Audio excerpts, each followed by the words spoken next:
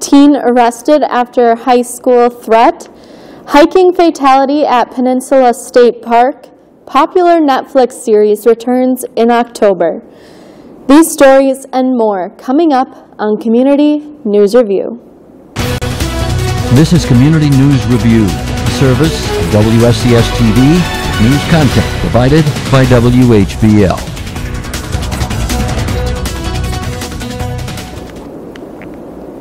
Hello, I'm Maddie Pfister, and welcome to Community News Review for Wednesday, September 26, 2018. The U.S. House of Representatives will vote Friday on legislation that would make permanent President Donald Trump's tax cuts for individuals. House Tax Committee Chairman Kevin Brady said on Wednesday.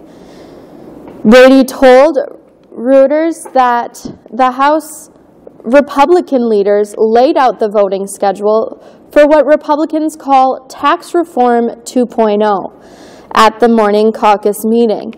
Two related tax bills on retirement savings and tax breaks for startup companies are due for voters on Thursday, Brady said.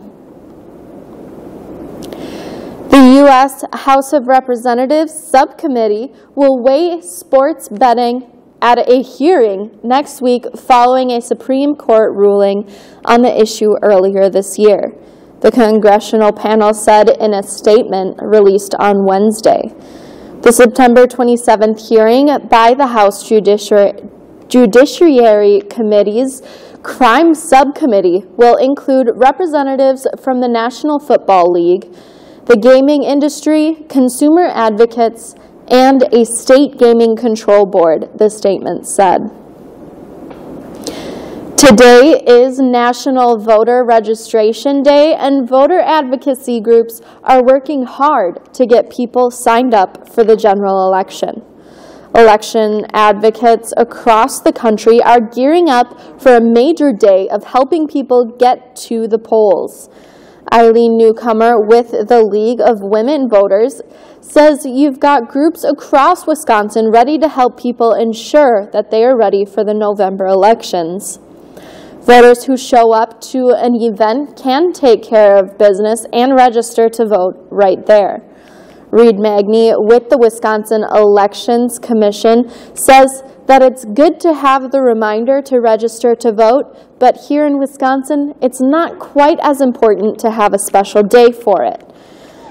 In a lot of other states, you have to be registered weeks or maybe a month or more before an election to be able to vote. And in Wisconsin, of course, you can register to vote on election day. You can sign up to vote at myvote.wi.gov gov or by heading to your local clerk's office. Make sure to bring proof of residence like a lease agreement or a utility bill in your name. National Guard soldiers from Wisconsin will be deployed to Afghanistan this winter. The deployment will be a historical one for the 2nd Battalion 127th Infantry. This particular deployment will mark this particular brigade's first ever deployment to Afghanistan. Joe Trovato, spokesperson for the Wisconsin National Guard, says they previously served in Iraq on two occasions, and this deployment will have them be part of the NATO-led Resolute Support Mission. There will be approximately 400 soldiers across the 127th unit, which are largely concentrated across the Fox Valley area. The Wisconsin National Guard says the 127th Infantry 2nd Battalion includes soldiers from Clintonville, Green Bay, Fond du Lac, Marinette, Ripon, and Waupun. There are between 10,000 and 12,000 troops serving in Afghanistan, and our troops would fall in that mission. The soldiers previously served in Iraq from 2005 through 2006 and 2009 through 2010. State health officials hope new data released Monday will encourage more people to get a flu shot. The Department of Health Services reported 379 people died from the flu last year in Wisconsin. That is double the number of the flu-related deaths over the previous influenza season.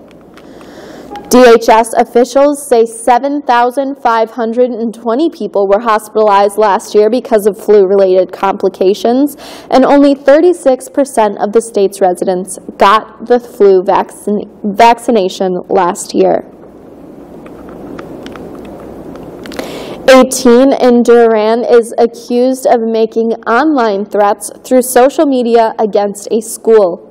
Prosecutors say the 17-year-old Jacob Gunderson to threaten a shooting at Durand, Arkansaw High School. Gunderson was charged Tuesday with making terror threats and writing a threatening computer message. Investigators say he posted the threat on Snapchat around 7 a.m. on Monday morning, and he was then arrested about two hours after the message was posted. Gunderson is not a student in the dis district and the motive is still unclear. There was an extra police presence at the school while the case was investigated. A statement from the school district said, We want to thank those students who reported the situation immediately and encourage parents to talk with their children about situations like these. The Door County Sheriff's Department says a 70-year-old hiker fell to his death Sunday in Peninsula State Park. The Elkhart, Indiana man was hiking with his wife in the Eagle Bluff Lookout area when he slipped and fell around 2.30 p.m. The area overlooks the water through the victim's body fell about 100 feet into the rocks below. The man was airlifted from the scene but died a short time later. His name has not yet been released, and foul play is not expected. A sequel to a popular Netflix series will be available next month. Making a Murderer Part 2 will look into updates in the 13-year-old Wisconsin murder case and will be available on Netflix on October 19th.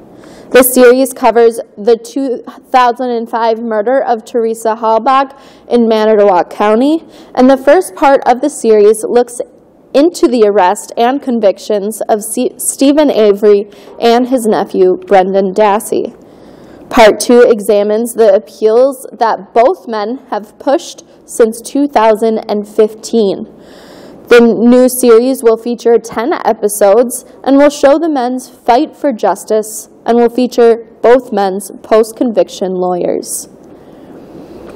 And finally, Ryan Braun homered twice, and Jesus Aguilar also went deep as Milwaukee won for the fifth time in six games. Taylor Williams picked up the win, and the Brewers led the Rockies by three and a half games for the top NL wild card and are just a half game behind the Cubs in the NL Central after Chicago lost to Pittsburgh 6-0. Austin Gomber took the loss and St. Louis is now a half game behind Colorado for the second NL wild card. The Brewers go for the series sweep over the Cardinals on Wednesday night. And that is all we have for today. We'll see you next time for another recap of our local news. From all of us at Community News Review, have a great day.